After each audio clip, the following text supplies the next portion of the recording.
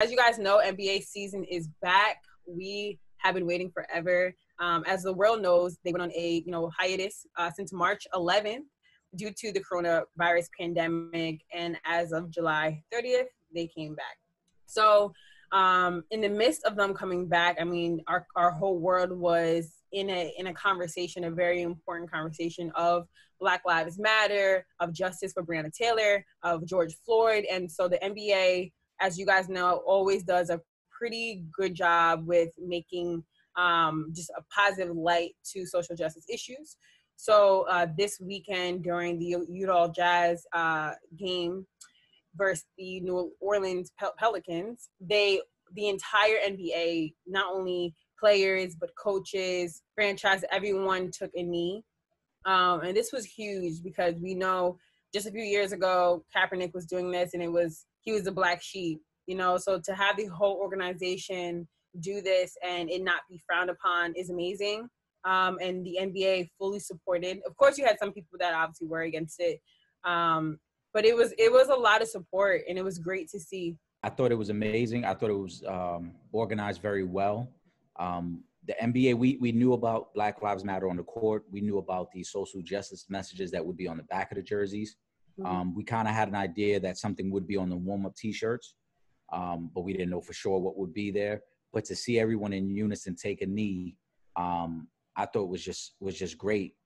We, you know, again, there were some people who didn't kneel. Um, we heard why from certain people, and we understand why. You know, we got to respect everyone's opinion on it. Yeah. But ultimately, I thought it was a great sign of unity uh, by the NBA. And shout out to Mark Cuban because even before we had seen this display, Mark Cuban had openly said, if any of my players want to kneel, I, I stand in support of them.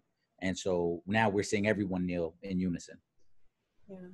And I, I think what's important to note about all of this is like there to your point of there are certain people who decided not to um, kneel, which I respect, you know, whatever decision, or even Mark Cuban who said, "Listen, I support my players." My issue with, I think, the reason why Kaepernick situation was much different was because him kneeling, people like attacked him for it. Whereas NBA has been like, "Look, whether you like, if you want to kneel, we're full support, and if you don't, that's your prerogative because you have your own beliefs. But don't knock those who are making light of it and using their platform in that way. But I thought, you know, Thursday night, this was a, a great, um, just defining moment, a way to just do tip off that is like something we've never seen before. So I thought it was amazing. Yeah, I, I, you know, I, I go back to what we spoke about a couple of weeks ago when we were just saying that, you know, we kind of all agreed that they'd be able to do more with the season being started up Mm-hmm. Um, and I think that this was a great way to kick things off and let the world know how much the NBA supports um, just you know the whole the whole culture of everything mm-hmm. that's been uh, that's been going on. It was amazing seeing everybody pretty much uh, kneeling down. Um, I, I, love it, man. I love the, the, the slogans on the back of the jersey. I know you know guys who you know had their little gripes because they didn't get to pick what was on the back of the jerseys, and you know maybe you might want to get a little deeper sentiment.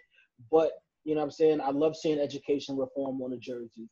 I love seeing say her name on the back of the jersey. I love seeing Black Lives Matter on the on the back of the jerseys. You know, so I think that the NBA still managed to do a great job as they often do.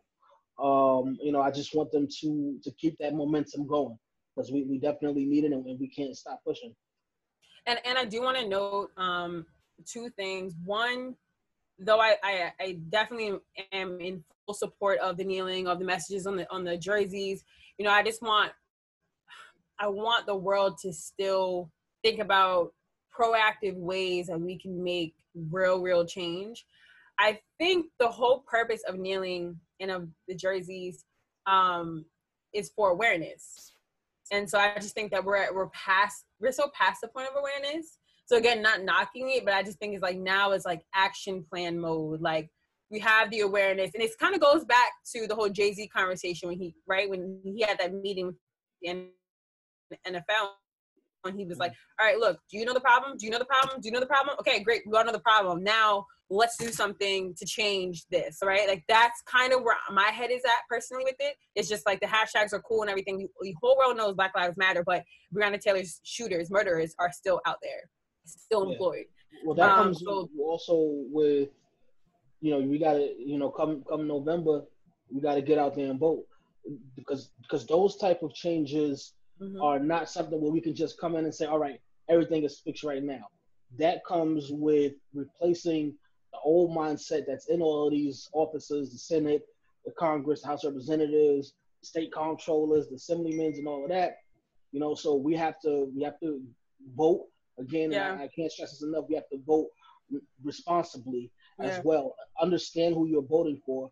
Understand what they stand for. What's what's their morals. Understand if they actually have a plan that's going to help you, help your family, help your neighbors. You know, you have to really be responsible when you're out there and vote. But that's you know that's one of the main things we have to, to be aware of that we need to be out voting. Absolutely, yeah. that is the next step, and I think that I agree with you, Em. I've said from day one that mm-hmm. to me actions speak louder than words. Um, so the kneeling is a start.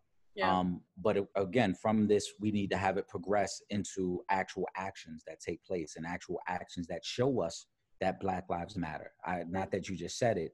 Um, so, you know, that becomes the next step, and, and we've got to continue to push that narrative. But having this message across your screen all day, every day is yeah. what at least starts to create that dialogue.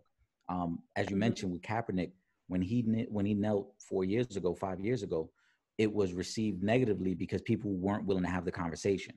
But now, when you have all of these NBA players and Major League Baseball players and MLS players kneeling, now mm-hmm. you're forced to have the conversation because now you can no longer hide behind ignorance or not understanding why somebody's kneeling. When there are thousands of people around the country who play a sport that you love that are kneeling, it forces you to at least say, okay, what is this about?